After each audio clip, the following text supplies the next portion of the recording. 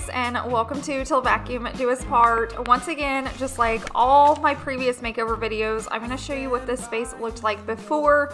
So this is going to be focusing on organizing the kitchen, but there's going to be like a small makeover as well just because as you can see it's been a full reno so I'll be decorating like the countertops and all that as well. So I really hope you guys enjoy today's video. If you're new here, definitely click that subscribe button so you don't miss any of my future videos and definitely head on over to my page and check out all the videos I've been posting if you enjoyed today's video because there is a ton more like it.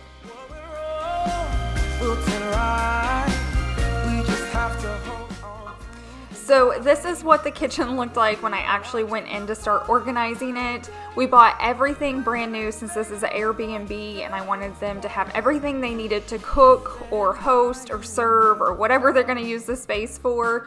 But I had been running over every day and putting stuff in the dishwasher and as it got clean I just put it out on the counter and I would run another load. Um, so all of this is clean and sanitized and all of that before I started putting it away yeah, yeah.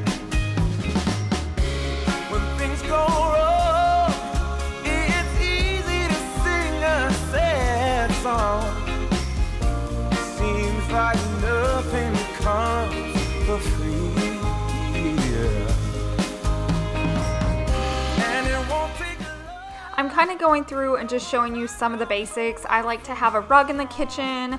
We have some bamboo shades in there. We added floating shelves, just anything to warm up a space. Since we went with white cabinets and white walls, it's really smart just to add some warmth in there as well. And then we also went with a granite countertop that had a lot of black and gray in it. Um, so in my home, we have like more of a white countertop, but we have gray walls. So I felt like since we were going all white in there, I needed a little bit color um, in the granite and I'm so glad I went with that option because it turned out really well. And now you're gonna see Chase putting on some hardware. So throughout the whole house, we're adding black and gold. But when it came to the kitchen cabinets, I really like gold. Sometimes I feel like black and white can be a little harsh. Not always, but in here I definitely just went with the gold look.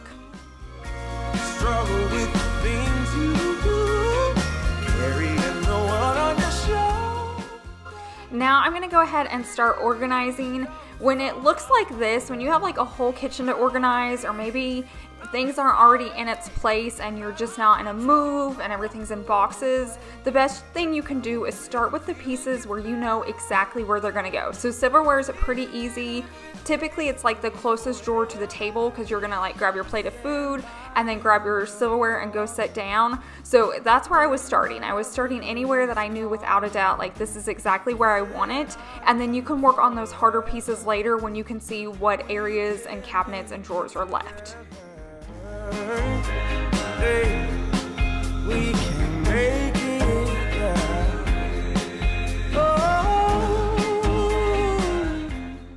So your kitchen doesn't have to make sense to everybody, it just has to make sense to you. So keep that in mind.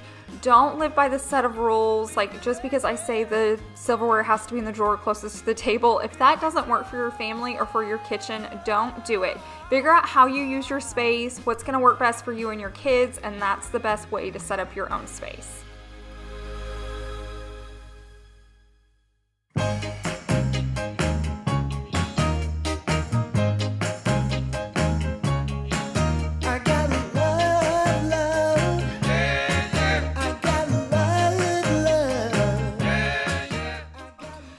As far as this kitchen, um, I have to look at it as it's an Airbnb and I'm assuming most people aren't going to be storing leftover food.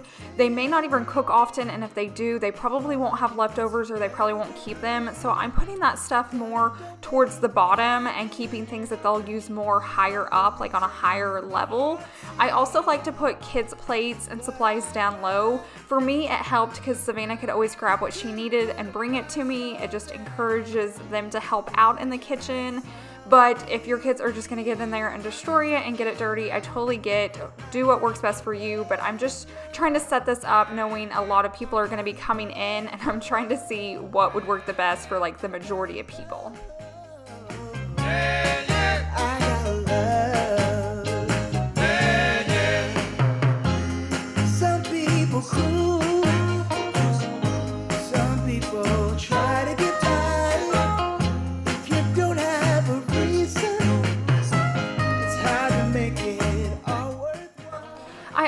felt like that maybe a ton of people won't cook in here, but they might want to bake with their kids on vacation or just to make a memory. So I tried to make sure we have everything in this kitchen that you could possibly need. So I'm just trying to find the best spots to put them away, just so they're easy to find, they're easy to put back, um, you're not lost. If you do stay until the end of today's video, I show some pictures at the very end. I did go ahead and decide to like label all the cabinets, but I didn't film it. But if you do want to see the pictures of how it turned out, definitely just stay till the end of today's video.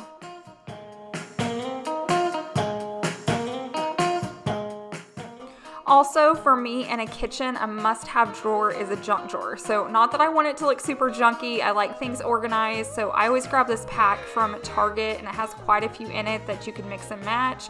But I definitely wanted the junk drawer in here because I know in my home that's where it is. You'll have to let me know where you keep your junk drawer in your house.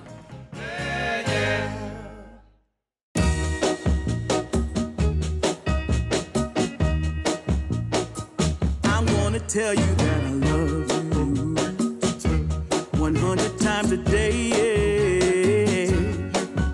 You'll get tired of my voice, that's how much I'm gonna tell you that I'll miss you. I'll miss you if you. Try to keep like an appliance cabinet. I feel like anytime you can group like items together, it's really gonna cut back on you searching for it, or if your husband or kids put things away out of the dishwasher, it helps them to narrow down on where to put it back. Same goes for our Airbnb. I'm just trying to keep all the like items together so it makes it super easy to find the things someone's looking for.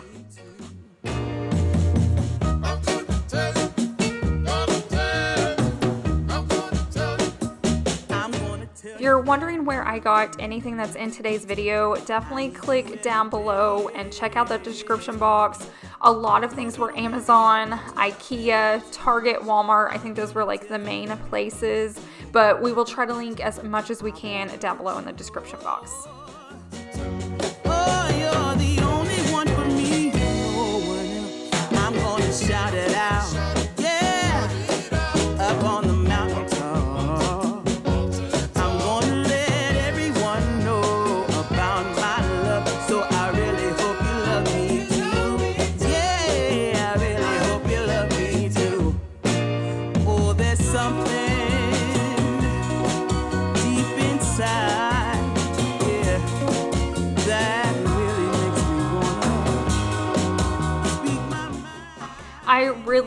love having E-Cloths in my kitchen. You guys know I love these. I talk about them all the time. It is not sponsored. um, I just love these cloths. So I went ahead and got a set um, to leave in the kitchen. So if you come visit and you want to check them out, or if you want to get a set of your own, um, I'll leave the link and my coupon code down below in my description box. I always have one with them. But I love E-Cloth rags because they look brand new the day you get them until five years down the line. I swear mine still look brand new.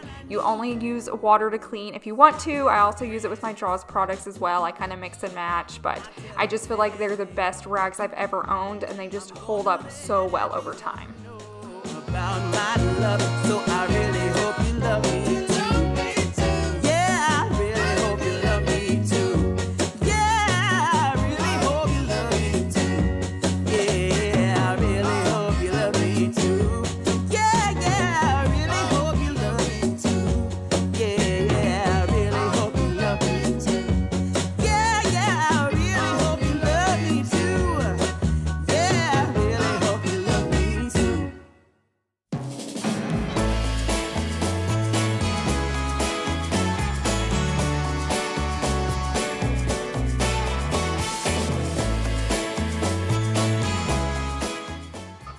I love when it gets to the point where you start decorating like the countertops and maybe the open shelves. I feel like the kitchen really starts to like warm up and come together.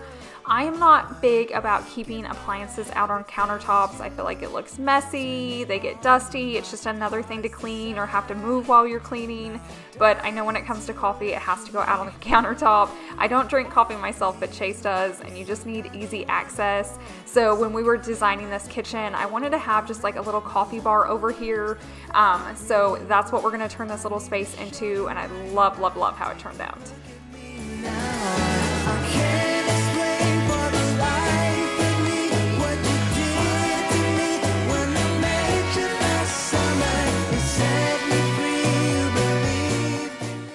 Thought I'd like open shelving, but in this kitchen there wasn't really room for a cabinet or I felt like it would look a little awkward or heavy, so we went ahead and did these floating shelves.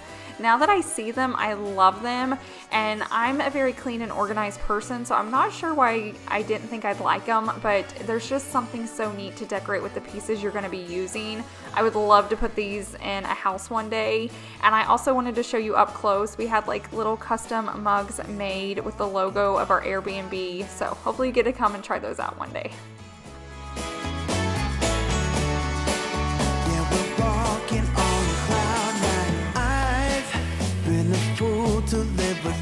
Without your love. It's like I've been waiting around for you. Why? Another really cool tip when you're trying to warm up like a bright white kitchen is to add some wood elements in or black or whatever color honestly that you like.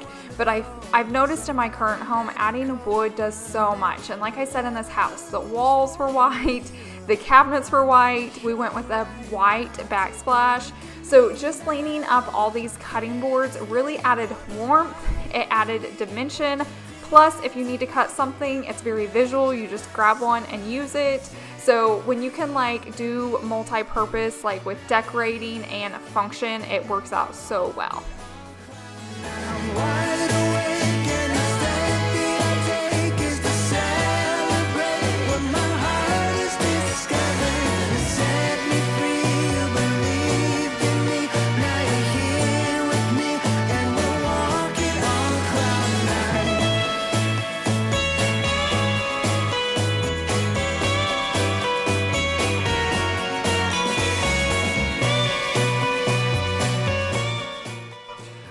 Decorating a space, especially when you're doing a reno, you really have to keep in mind of how you're going to be decorating the space.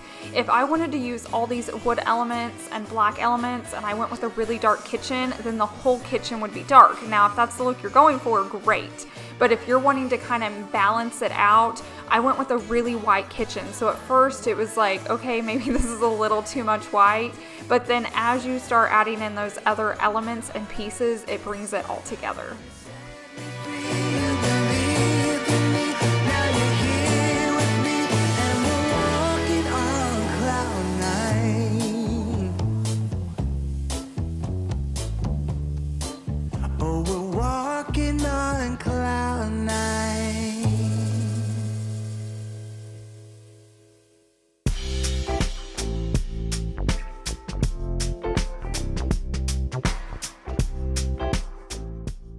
Okay, so this is on another day, and I decided to move these clear canisters um, over here on the shelving. I felt like when you first walked into the kitchen, it was just a little too much with the cutting boards, and I'm gonna fill those up later. I don't know if I show it on camera or not, but you'll see it in the picture at the end. But I felt like they just worked better up here. If you need to use them, they're up there. I feel like they're probably more for look, so you'll probably want to buy your own stuff, but there will be like sugar and brown sugar and flour up there. Find your way in time to find someone is a blessing. The love you find, you won't be able to deny. Just take. Now we're gonna do a little mini project um, in this kitchen. Um, I'll link this down below in my description box, but we bought this off Etsy. But basically, it's a very large map of the United States and it is like a cork board. And so I thought this would be a fun way to fill up this really white plain wall here in the kitchen. And then we could see where all of our visitors are coming from to come stay at the Modern Jewel. So there's instructions on the wall of what to do if you come. But Chase was putting it together so we could kind of like measure it out on the floor and know where we need to start putting the pieces up on the wall.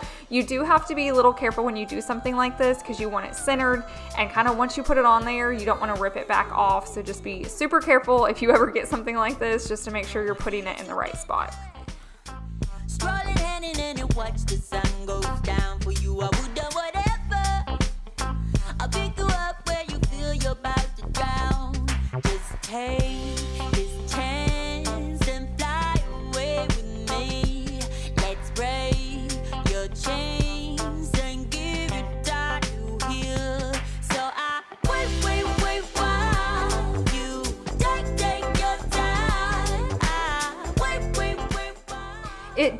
Come with instructions on which one to put up first and where to put the tape, but it was a little tricky. But basically, once you get that first one set, all the rest just kind of line up with it. So if you're wanting to do something like this, the hardest part is just putting that first one up, and then after that, it's pretty easy to do.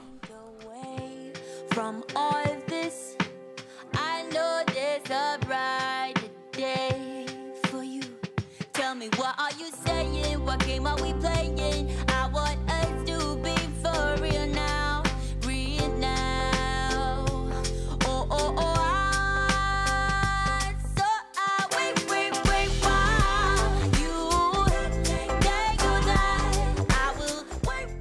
You're gonna have to bear with me on some of these clips. I actually got a new camera and like one of the settings got way off and I didn't even know it because it was a new camera. So it's a little grainy in a few of these clips, but I promise I'll have that figured out very soon.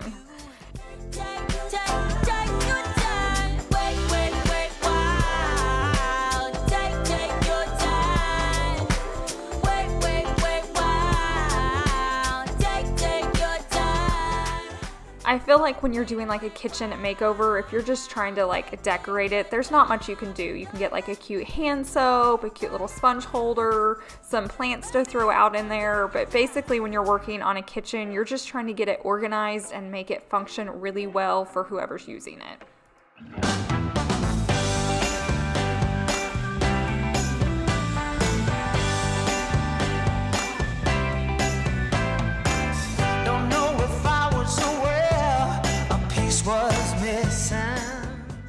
Okay, now I'm gonna start showing you some before and after clips. I feel like these are always the best part of any video or any TV show that I watch. I love seeing how it started and then how it turned out. So sit back and relax and watch these. And definitely don't click off yet because the last photos are all gonna be inside the cabinets and how I have them organized and how I have them labeled.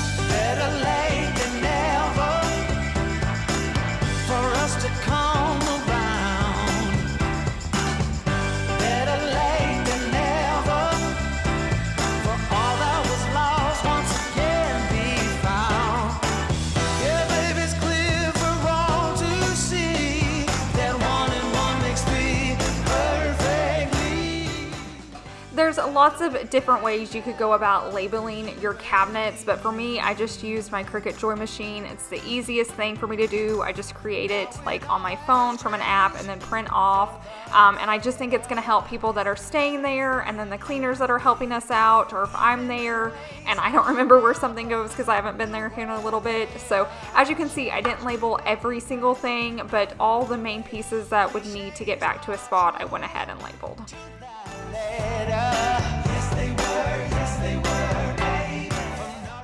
Thank you guys so much for watching today's video. Go and get your kitchen organized. I promise you, you're gonna feel so much better once it's done. If you're new here, I would love for you to click that red subscribe button. If you've been here before and subscribed, thank you so much. I appreciate you hanging out with me. If you enjoyed today's video, definitely give it a thumbs up, and I will see you guys in the next one. Bye!